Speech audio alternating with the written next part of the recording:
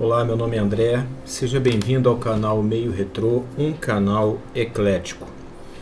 Eu estava lendo aqui o comentário do de um inscrito no canal, alguém que postou no canal, né? Sérgio, não me lembro do resto do nome agora, Sérgio alguma coisa, a qual agradeço aquele abraço. É, Parece-me que ele é evangélico, não tenho certeza disso. Mas eu falei que eu ia fazer esse vídeo que eu acho importante. Eu acredito realmente, é, nós temos que ter propósito na nossa vida. É, e pelo que eu estou percebendo, a, a gente parece que leva um tempo até entender, até querer ou desejar ou lutar para fazermos da nossa vida um propósito. Né? E eu creio que tudo que acontece, pelo menos tudo que acontece na minha vida, como cristão evangélico, há um propósito. Então o título desse vídeo é Não cometa, né? É, ou não faça o mesmo erro que eu, não cometa o mesmo erro que eu. Eu estava contando para o Sérgio, que eu acho bem interessante, esse, esse vídeo que eu, que eu fiz aí chamado. É, a memória está fogo. Chamado é, 1 de janeiro de 2019, o dia da Padical. Né? Eu estava explicando para ele que talvez ele não tenha entendido o sentido do que eu quis dizer, talvez você talvez não tenha entendido. Então eu vou esclarecer aqui. Se eu fiz esse vídeo com base nas uh, supostas profecias e interpretações supostas reveladas, né? suporta, supostas reveladas por Deus é, sobre interpretações apocalípticas, né? Vai acabar aqui, vai acontecer isso, aquilo, outro. Gente, hoje eu tenho 54 anos. Deus permitindo, farei 55 anos em junho deste ano. E pela idade que eu tenho, 21 anos, né, vivi no militarismo, né, no regime militar e vivi no tempo da Guerra Fria. Então, os filmes da época é, que fala, era o tempo inteiro a notícia de uma provável terceira guerra explodir a qualquer momento. Era o tempo inteiro. E um filme marcou a minha vida eu acho que o nome do filme era A Terceira Guerra Mundial mesmo, que passou na antiga TV Tupi. Tá? Aquele filme marcou muito a minha vida. Eu queria até achar aquela, aquele fundo musical, sabe? marcou muito. Então eu vou abrir aqui um parênteses aqui para falar uma frase do pastor, do pastor não, do doutor Laí Ribeiro. Não importa o que acontece conosco, o que importa é como nós reagimos ao que acontece conosco. E cada um, cada um de nós, seres humanos, reage de maneira diferente ao que acontece conosco. Pode ser que tenha acontecido a mesma coisa comigo e com você, mas você vai ter uma reação diferente da minha.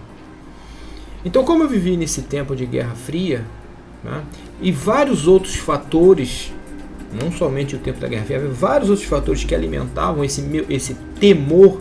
Então eu pensava assim comigo. Já fiz esse comentário em outros vídeos e teve uma engraçadinha. Não dá para saber na internet, pessoal. Todo mundo se esconde atrás de avatares, né? Atrás de. Eu, eu digo como atrás das sombras, né? Para fazer seus comentários. Alguns até eu considero válido tal atitude mas na grande maioria, como cristão evangélico, não, porque Jesus disse que nós somos a luz do mundo. Aí eu já estou falando os evangélicos. Mas vamos lá. É, então eu vivi nesse tempo e eu pensava que é comigo, estudar para quê? Vai tudo explodir, vai tudo pro beleléu, vai acontecer uma terceira guerra mundial. Então eu vivia projetando com o conhecimento que eu tinha equipamentos de sobrevivência, eu ainda tenho hoje mochila, cantil, tudo do meu tempo da minha adolescência e juventude que eu trabalhava para comprar esses materiais.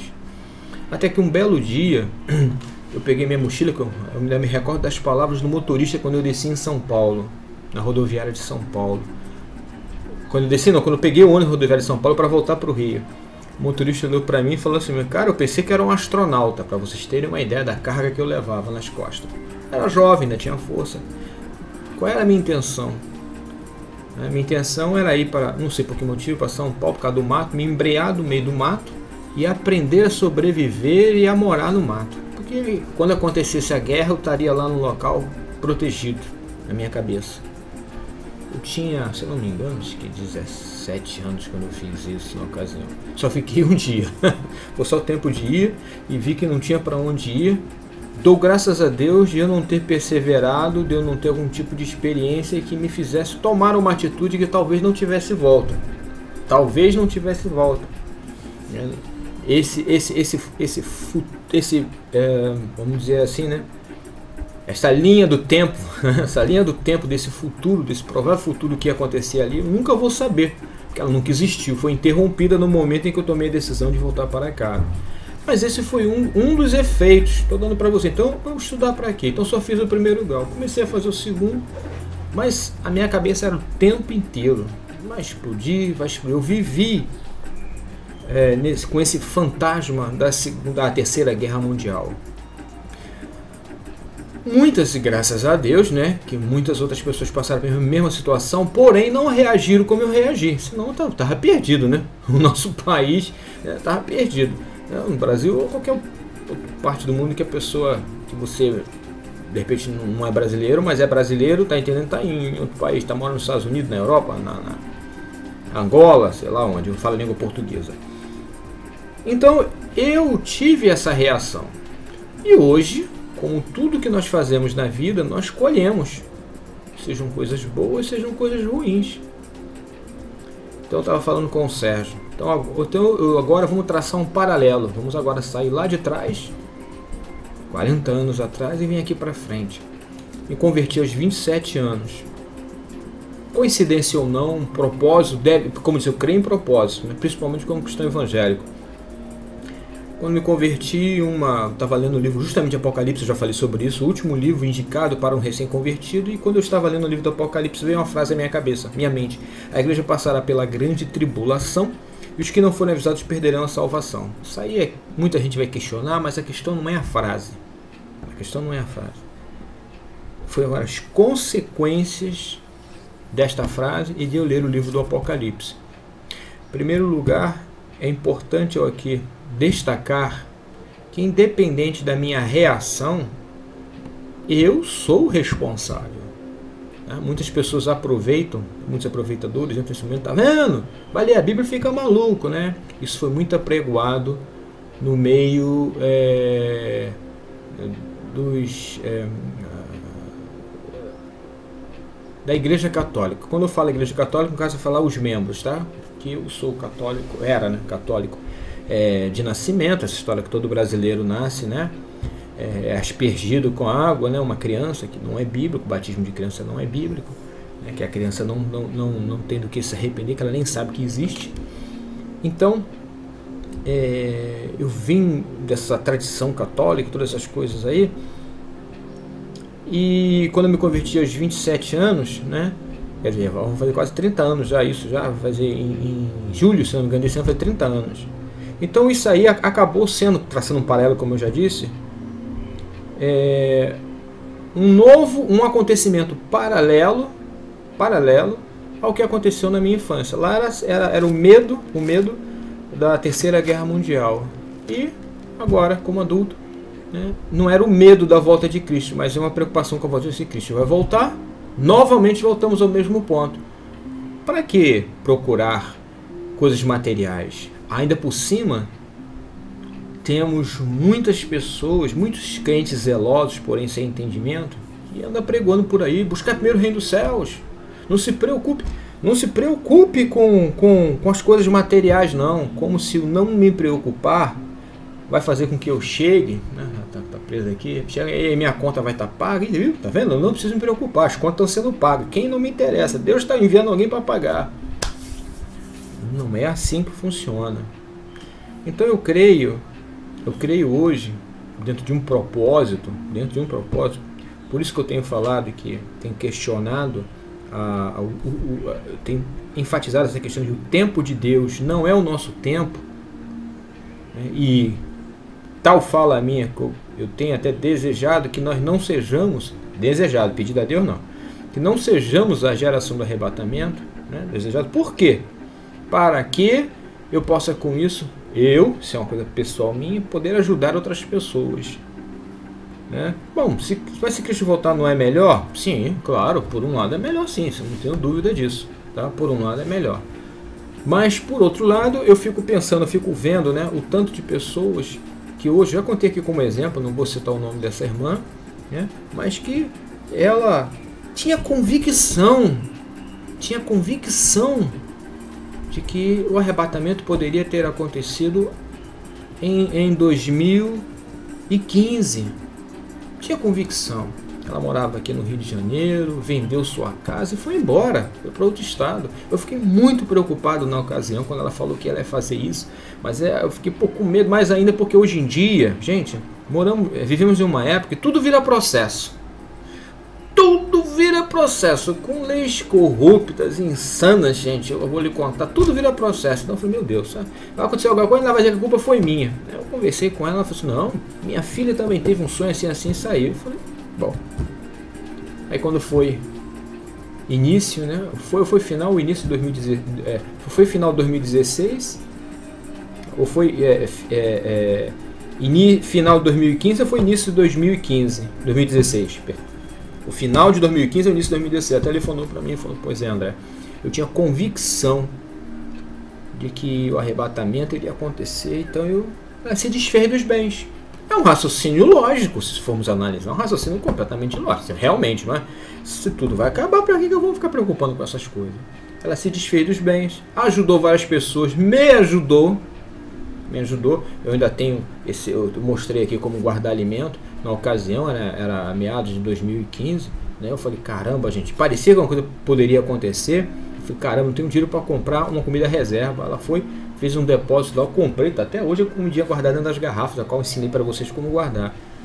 E que eu acho importante, de acordo com as coisas que estão acontecendo, termos uma certa reserva de alimento mesmo de casa. Isso aí, independente é, de eu estar mudando né, a minha visão, meu entendimento sobre essa questão da, da, da volta de Cristo, eu acho muito importante termos uma reserva em casa de comida, gás, água, pouquinha coisa, mas tem que ter. Eu acho muito importante hoje. Né? Mas vamos lá. Então, ela, o que, que ela fez? Ficou prejudicada, segundo ela me falou, né? ficou em dívida com bancos e outras coisas mais. Mas faz sentido o que ela fez. Eu conheço muitas outras pessoas, gente. Eu tô há 15 anos na internet. Se eu for contar, eu entrei na internet que foi justamente em meados de 2002. 2002 foi. Tá, 15, 15 anos na internet. Então, gente, eu sei, passei e falei com muitas pessoas, com muitas pessoas. Hoje mesmo, por exemplo, esses dias que eu fui pegar a bateria, eu falei com uma pessoa da, da igreja adventista, tipo de adventista de guarda do sábado, respeito com ele. Né?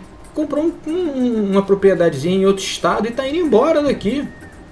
Mas por que, que tomou essa atitude? Não só, aí, porque ele quer uma vida melhor, porque lá, lá é melhor? Sim, lá é melhor sim. Mas não é por causa disso não segundo ele mesmo, segundo a fé dele, né? porque as coisas vão acontecer, ele acha que tem que ter um lugar protegido. Até aí tudo bem, porque ele não está saindo do fogo para a frigideira. Né? Ah, na sua idade já avançada que ele tem, ele está saindo é, de uma situação, por exemplo, aqui no bairro Bom, é muito bom o bairro, mas infelizmente a insegurança no Rio de Janeiro está demais, então ele está saindo daqui para um lugar melhor.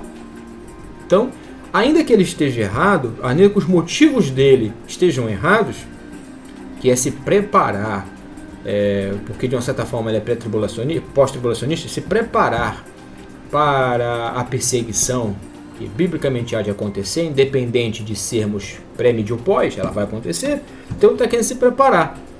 Mas se ele tiver errado, é aquela história. Pelo menos ele, ele, ele não fez as coisas de uma maneira que ele ficará em situação pior se o que se os motivos que o levou a tomar tal preparação não acontecer.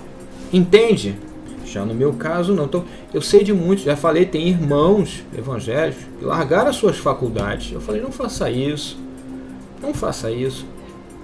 Então teve uma pessoa que me mandou pelo WhatsApp, né? Tá estudando mais novo do que eu, parece que tem 45, coisa assim.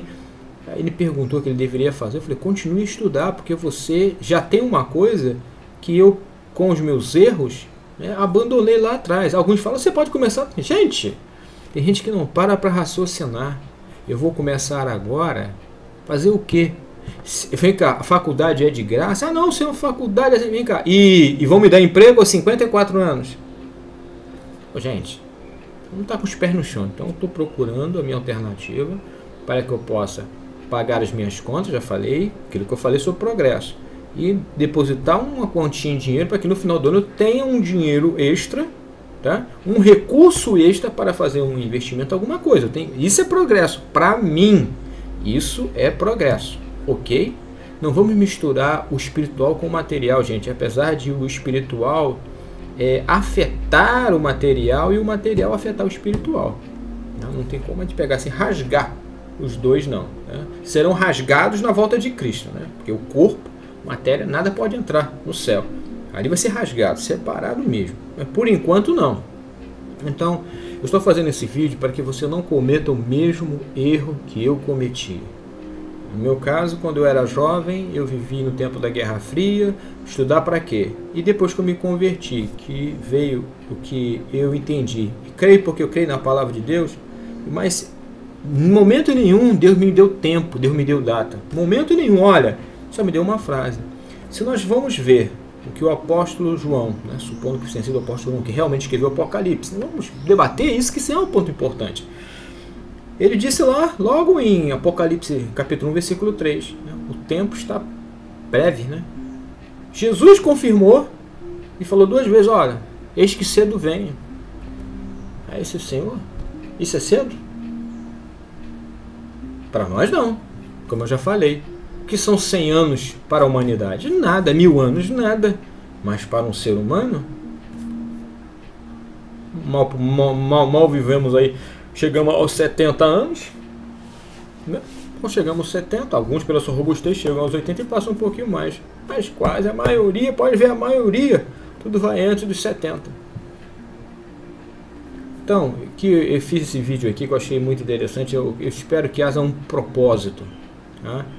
Com isto, eu sempre falo sobre uma vida equilibrada, nem tanto o céu, nem tanto a terra. Ou seja, você não vai, bom, já que Jesus não vai voltar, vou cuidar da minha vida, vou estudar, não quero saber é, da de palavra de Deus, não quero saber de estar dentro de uma, a, a, de, um, de, um, de uma igreja, de um templo. Não, não é nada disso que eu estou dizendo. Estou falando sobre vida equilibrada. Nem tanto o céu, nem tanta terra. É, vou falar aqui, aproveitando o gancho de um vídeo que eu coloquei aí, sobre a questão é, do pastor Cláudio Eduardo, se eu não me engano, que ele fala sobre o, o, é, o é, sexualidade do casal, né? Casal, o casaria evangélico. Né? Tem gente, quem começa, as, quem, quem, quem se casa, alicerçando seu casamento no sexo, vai se dar mal lá na frente. Vai se dar mal lá na frente. Não tem por onde, não tem como. É, o sexo faz parte do casamento, mas ele vai se dar mal se ele só estruturar o casamento dele em cima do sexo. E assim vários outros pontos, né? Vários outros pontos que eu digo. Aí eu achei engraçado aqui não sei se. Deve ser jovem, né? Engraçado. Postar vídeo de mulheres com bunda de fora outras coisas, ele faz. Eles têm engraçado. Tem, te acha engraçado isso. Ele, oh, estou saindo do teu canal porque você fica falando esse negócio de Bíblia que foi manipulada, para patatá. Eu fico vendo essas bobagens que essa, essa juventude né, escrevem, né? E às vezes nem, nem, nem, nem jovem é, tem muitos velhos realmente que vêm dessa maneira. Mas eu quero dizer é o seguinte, eles esquecem o seguinte. Ah, ele, só estou aqui mais ou menos por causa da sua eletrônica. Em algum momento, eu aqui no meu vídeo disse assim, olha, aqui eu só falarei sobre isso ou aquilo. Não, eu disse o quê? Eu sou e você é que está me ouvindo provavelmente filho, pai, esposo, empregado, patrão, nós somos muita coisa. A nossa vida não se resume a uma situação só. Nem só de pão viverá o homem. Ou seja, não se resume apenas de igreja, igreja, igreja, igreja, Bíblia, Bíblia, Bíblia, Bíblia. Agora, a palavra de Deus, ela deve estar, eh, vamos dizer assim, entranhado né, em toda a nossa vida. Porque eu entendo que a palavra de Deus, elas são é, limitadora, é limitadora para mais ações, ela é incentivadora, motivadora. O problema é quando é como nós reagimos ao que acontece né, a nossa interpretação. Para finalizar, deixa eu contar para vocês uma experiência. Acho que eu não contei, não contei isso aqui ainda não, tá? Para finalizar, estou falando aqui há praticamente 20 minutos. Para finalizar, preste atenção nesse meu testemunho. Eu acho que foi no ano de 2000 2005 foi 2006, foi 2005. Eu tive o seguinte sonho.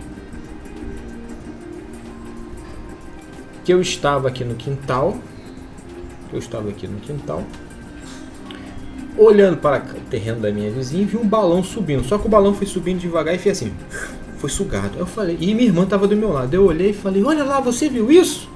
Isso que eu me viro para falar com a minha irmã, um vento muito forte, muito forte, começou a destruir o bairro inteiro. Eu corri e entrei dentro de casa preocupado com a minha mãe. Mas num flash eu vi a minha mãe com a camisa que ela tinha, um bermudão, olhando para umas flores assim com maior calma. E tava tudo despencando aqui. E ela com maior calma. Aí eu entrei, tipo assim, para salvar a minha mãe e gritei: Mãe! Mas quando eu passei pelo umbral da porta, é como se o umbral, a porta, né? Aquele porta, da porta das portas, né?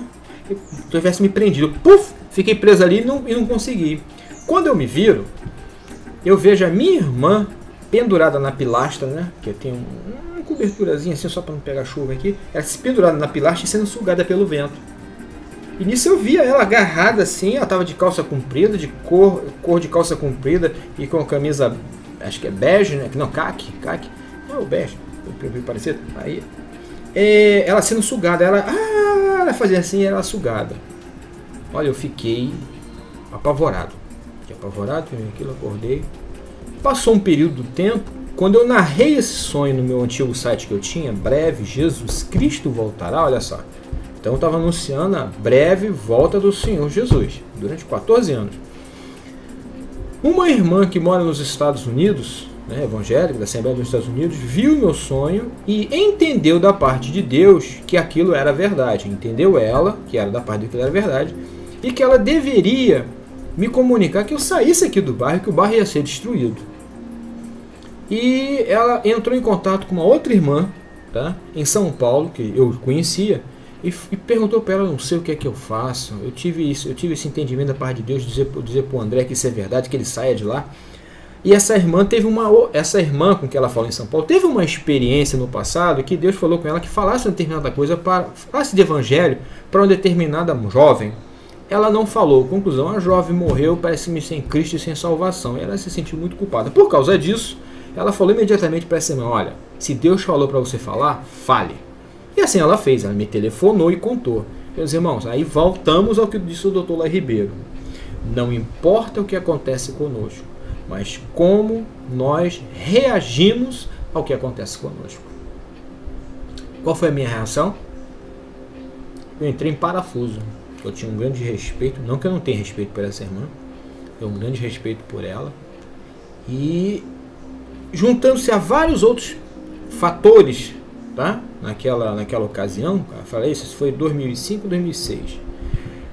Eu fiquei, entrei em parafuso. Eu peguei a bicicleta, e saí como um doido aqui, correndo pela rua. Um doido pela rua. Aí fui numa igreja da qual eu já participei, lá no finalzinho do Rio da Prata. Se pegar o Rio da Prata, você pegar. Deixa eu onde é que a igreja que André está falando. Eu digo, mostro todos os locais. Fui lá no Rio da Prata, uma igreja, aí entrei, já fui com aquilo de neta na cabeça. Aí entrei, e nisso tinha um irmão, né? Ele não era zelador, não, mas ele trabalhava lá dentro. Aí ele me viu, e eu, eu tinha que ir lá naquela igreja, eu tinha que ir lá naquela igreja para consertar o som. Então eu peguei as ferramentas, aproveitei e saí daqui, igual um doido pra lá, aquilo perturbando a minha cabeça, como é que eu vou passar aí? Porque a irmã me disse, ela me contou e disse, ó, Deus me falou para você sair sim. Eu não sei quais são as suas condições financeiras, André, mas saia desse bairro, isso aí tudo vai ser destruído. Era 2005, 2006, hein? nós estamos em 2017. Aí, alguns vão aproveitar nesse que eu estou contando aqui, assim, tá vendo? Mas isso é assim mesmo, gente. Mas para outros tem convicção que isso terá um propósito. Aí quando eu entrei naquele terreno, aí o, o, o irmão que estava lá já me viu assim e ele falou alguma coisa e eu já entrei dizendo assim, ó, já sei. O som está funcionando direitinho. Ele, tá assim, como é que você sabe? Porque não era para. Deu, deu um grito. Tava no estado, porque não era mesmo. Pra, não tinha nada queimado. Era para eu vir aqui e falar, meu irmão! Mais ou menos eu falei assim, prepara porque Jesus está voltando. Eu dei um grito. E ele ali eu saí com a bicicleta. Eu saí pelo Rio da Prata, eu estava assim como que alucinado. Aí fui na casa de um pastor da Assembleia de Deus. Esqueci o nome da Assembleia de Deus que tem aqui, que é uma, uma torrezinha. Não vou lembrar. Aí fui na casa do pastor. Não, minto, saí na casa do pastor não. Saí daqui, saí de lá, fui na casa do irmão Alvino, que já dorme no Senhor, já ele é da Assembleia de Deus. Aí entrei, quando ele botou a cara no portão, eu falei assim: Homem de Deus. Eu falei assim mesmo: Homem de Deus, que tens para me dizer? Aí ele olhou para mim assim e falou assim: Nada, foi um nem, nem sei, eu não te vejo, então, então também não tenho nada para te dizer. Deus te abençoe. Peguei a bicicleta e saí, deixei ele assim, ele ficou no vácuo. Ficou no vácuo. Saí dali, fui na casa de um outro pastor. Inclusive, era o pastor da minha esposa aqui. Mesma coisa. Parei, dei um grito, todo mundo pela rua assim, deu um grito. Homem de Deus, o que é que tu tens para me dizer? E ele falava, André, a mesma coisa, não, tem pouco eu não te vi, o que, é que você trata alguma coisa, então não tem nada, não, então eu também não tenho nada para te dizer. Dali eu saí. Aí eu fui na casa de um outro irmão, é desse pastor da Assembleia de Deus que eu falei daqui. A mesma coisa, parei na porta dele. Homem de Deus, o que tem para me dizer? Ele já fez diferente. Aí ele falou: entra e vamos conversar. Aí ali ele entrou, contei o fato para ele, ele orou, saí em paz, saí em paz aquele dia, né? Vamos dizer assim, saí em paz aquele dia, ele orou por mim, saí em paz. E nada aconteceu até hoje. Mas se eu tenho recurso naquela ocasião financeiro, eu tinha, nem é muita coisa não. O menor que eu tivesse, eu tinha pego a minha esposa, né? Meu filho, que era pequeno aquele dia, minha mãe tinha me saído daqui. Eu vendia, torrava a casa e ia embora. A convicção era tanta, tanta. Olha só, desculpa falar claramente, a merda que eu ia fazer. Desculpa falar assim, tá? Porque às vezes a gente tem que usar uma palavra assim. Para alguns eu sei que isso não é forte, mas para mim é. A criação que eu tenho não é de falar palavrão. Então é, é difícil até para mim isso. Então, o que que eu tinha, a besteira que eu tinha feito. E aí? Então, meu amado irmão, a você que não é evangélico, primeiramente para você que não é evangélico, não deixe de crer em Deus, porque uma coisa é uma coisa, outra coisa é outra coisa. Eu falei para finalizar, mas tem uma coisa muito importante para dizer, né? Meu pai, que não era evangélico, morreu sem Cristo, sem salvação. Ele foi na minha casa, morava num kitnet, e ele ia sempre lá falar dos erros que a igreja aqui de frente de casa, o mau testemunho, essa igreja, infelizmente, há muito tempo atrás, agora não, tá? Deu muito mau testemunho. E eu fui uma das vítimas do mau testemunho dessa igreja. E meu pai ia lá sempre falava as coisas erradas que aconteciam aqui. Mas eu já era convertido. E meu pai ia lá e eu sempre defendia a igreja, tendo consciência eu dos erros que essa igreja cometia. Bom, um belo dia, meu pai estava lá mais uma vez falando da igreja, mas só que diferente, veio uma, uma coisa na minha cabeça e disse: Olha, você sabe que o que ele está dizendo é verdade, então pare de defender o erro. Eu parei, olhei para meu pai e falei, pai, tudo que o senhor está dizendo é verdade. Foi bem diferente das outras vezes. Porém, eu só tenho uma pergunta para lhe fazer. Ele, qual é, meu filho? O fato dessa igreja estar tá cometendo esses erros anula, porventura, a palavra de Deus? Ele olhou para mim e categoricamente falou, não. Eu falei, pai, então o senhor vai prestar contas pelo que o senhor fez e faz na sua vida e a igreja vai prestar contas a Deus, certo? Nunca mais falei com meu pai. Foi o último dia que eu vi meu pai. O último dia. Meu pai saiu dali, entrou no fuscão branco que ele tinha. Eu apoiei o braço no vidro do carro. Falei, pai, eu só não queria que o senhor morresse sem Cristo, sem salvação e fosse para o inferno.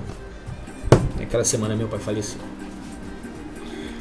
Então tem muitas coisas que acontecem nessa vida e a questão, como diz o doutor Lai Ribeiro, o problema não é o que acontece conosco, mas como nós reagimos ao que acontece conosco. E neste caso, como evangelho, como nós interpretamos aquilo que acontece conosco, porque a nossa interpretação vai com certeza influenciar a nossa reação, correto?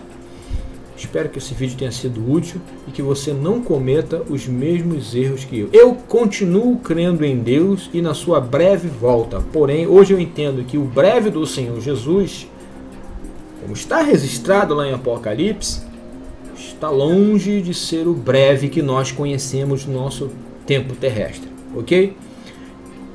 Que Deus, que o Deus de Israel, tá? que o na pessoa do seu Filho Jesus Cristo te abençoe, te dê todo o entendimento e que você tenha em Cristo Jesus, com base na Sua palavra, uma vida equilibrada. Nem tanto o céu, nem tanto a terra. Uma vida próspera e uma vida abençoada e abençoadora. Ok?